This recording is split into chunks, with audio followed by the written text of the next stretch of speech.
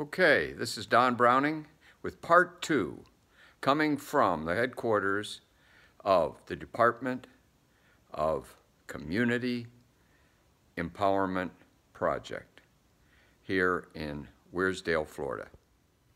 Okay, this is the OCR complaint 04171545, Marion County School District, Stanton Weirsdale School, and the walk-in zone, where there is utter discrimination in violation of the Civil Rights Bill, Title VI.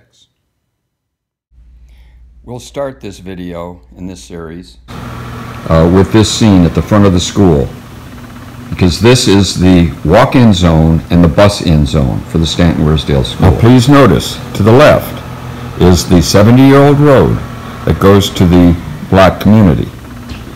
It is a school road, but it doesn't have sidewalks, any of the amenities that are afforded the white area. Now this is the white area, and it has easements, follows state law, federal law, and local law. Now this is the white area and the standards for the Stanton District.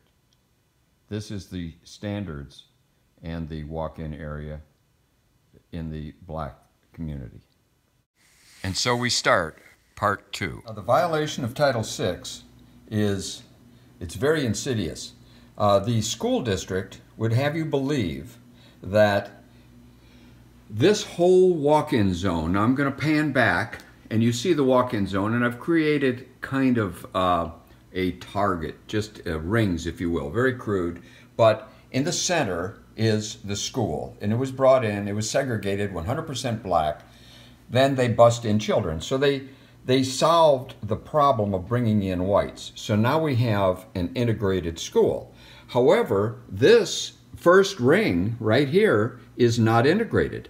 Uh, it is the, the area that's totally void of all services for the walk-in zone. Now, as we expand the zone, we get into the second band, we go across this road and we suddenly go white and that area now has no problems at all. The school district maintains that as you move out from the center of the target into the more populated part of the walk-in zone, that the the uh, uh, the discrimination doesn't exist because statistically the center of the target is a very small part of the population. And the big part of the population is up in the white area. In this entire white area a student can walk all the way into the targeted black area and never have to leave the sidewalk. However, the blacks have to walk through a real problematic, muddy, uh, unsafe area, discriminatory area, in order to get to the school.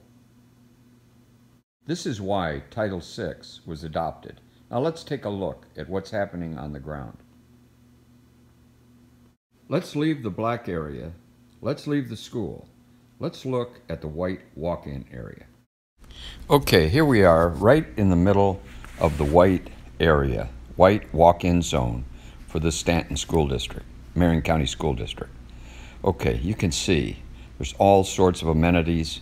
There's even right-of-way, paving, sidewalks, safety features, all at no additional cost provided by the county and by the school district. In this part of the walk-in zone, a student can go all the way from his home directly to the school, never having to walk through the muddy terrain that the black kids have to endure. It's been well over a hundred years for this community. This is the black area. No, zero amenities, zero services for the walk-in zone. As soon as we cross that highway up ahead, the, the, the county road, uh, we will lose all these amenities like railings, culverts, safety signs, uh, anything that would be normal and appropriate for this area, for Marion County. Okay, so here we have County Road 42. This is the demarcation point. On the north side, it's white and privileged. And the federal funds are spent very nicely up there. In the last 10 years, all these sidewalks, all these improvements were put in.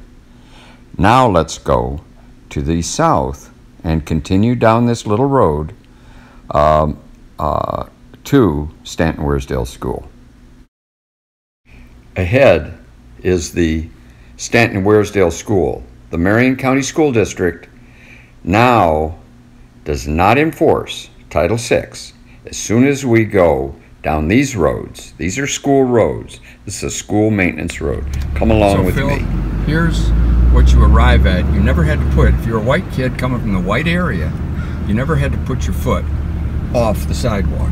And there's your school. Now let's see what happens if you're going into the colored town. Now here's what happens in the colored area. We don't even have, not only do we not have a sidewalk, uh, but we don't even have a culvert. Here's what's going on if you're colored. Now remember, for over 70 years, this was the primary walk-in, this was the walk-in zone for generations of black children. This deplorable access road to the black school shows why we have Title VI. Title VI. Right here is where this road was used. That gate, everything went in for 50 years. This is a county road. It was the county access. It's the only other safety way in and out. And there is your street sign. The county can change these signs from green to white to avoid all responsibility. The road is switched to private. So let's get out of the vehicle for just a moment. Uh, let's just take a look at uh, the school, the road. This is the road that supplied the school through those gates. The trucks, all services, all meals, everything came up this road. However, the school district would have you believe that these roads were actually non-existent. They go back to Brown versus Board of Education when they put in the school, and because it was colored, small colored community, they didn't actually record the road. Even the right-of-way, which is a state statute between the telephone poles, uh, is not right-of-way because this is a com colored community. That statute, 95 361, Florida statute, uh, clearly allows for maintenance. Uh, after four years of maintenance, it allows the maintenance creates title with the public. Now we've come to the end of section two. Now select section three and continue. The Marion County Stanton Weirsdale Community Solutions Project.